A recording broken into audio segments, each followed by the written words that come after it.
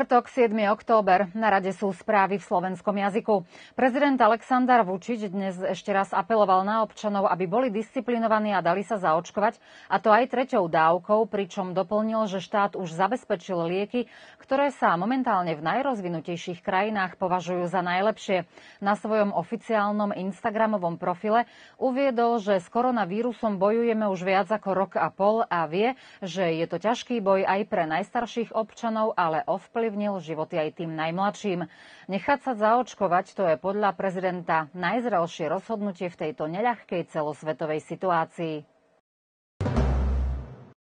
Švajčiarska spoločnosť Berika lebo otvorila v Novom sade továreň na výrobu čokolády, v ktorej bude pracovať viac ako 100 ľudí. S výstavbou továrne v Novom sade sa začalo v marci minulého roka a ročne bude vyrábať 50 tisíc tón čokolády. Na slávnostnom otvorení sa zúčastnil aj prezident Aleksandar Vučič, ktorý povedal, že to bude najväčšia továre na výrobu čokolády v juhovýchodnej Európe. Na túto investíciu švajčiarska spoločnosť dostala zo štátneho rozpočtu 14 miliónov miliónov eur. Výbor pre organizáciu Medzinárodného knižného veľtrhu v Belehrade oznámil, že na dnešnom zasadnutí všetci vystavovatelia prišli k uzáverom, že momentálne nie sú vhodné podmienky na uskutočnenie veľtrhu. Zároveň výbor veľtrhu uvádza, že zakladateľ, čiže správa Belehradského veľtrhu a výbor Belehradského knižného veľtrhu urobili všetko, aby sa udržala kontinuita a význam tohto podujatia na kultúrnej mape Srbska a regiónu, ale napriek tomu došli k uzáveru, že sa veľtrh konať nebude. Podľa najnovších údajov z Ústavu verejného zdravia Sriemska Mitrovica za posledný deň bolo v Starej Pazove zaregistrovaných 58 nových prípadov nakazenia koronavírusom a aktuálne je v celej Staropazovskej obci 533 aktívnych pacientov. A pohľad na celú krajinu údaje sú nové aktualizované dnes o 15. hodine.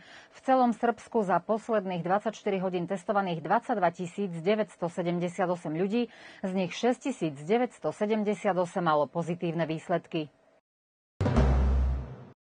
V rámci tohto ročného detského týždňa sa v divadelnej sále v Starej Pazove bude konať 19.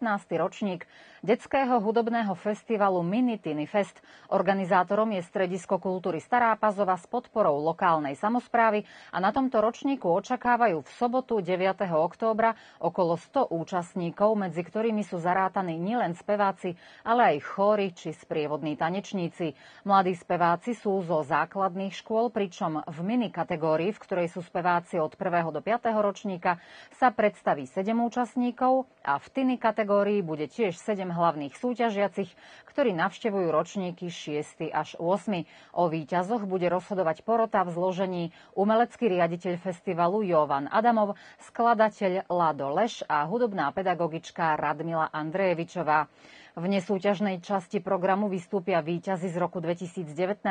Programom bude sprevádzať detský animátor Báne Rosič. Cena vstupenky je 250 dinárov a festival začína v sobotu o 18. hodine s prihliadnutím na dodržiavanie všetkých epidemiologických podmienok.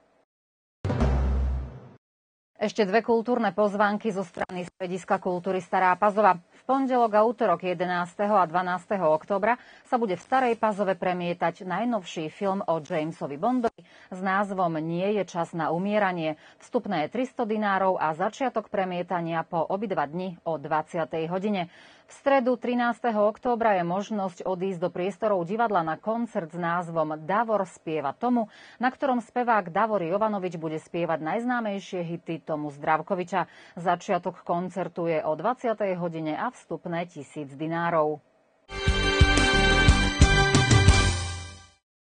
Volejbalistské jednoty zo Starej Pazovy v druhom kole Superligy Srbska odohrajú zápas na svojom teréne a súperkami im budú hráčky Partizánu. Zápas je na programe v sobotu o 19. hodine. Pripomenieme, že Staropazovčanky minulý víkend odštartovali sezónu vynikajúco a to výhrou nad družstvom Sriem výsledok bol 3-0. Vzhľadom na aktuálne epidemiologické opatrenia počet divákov je ohraničený na 50% celkovej kapacity hľadiska.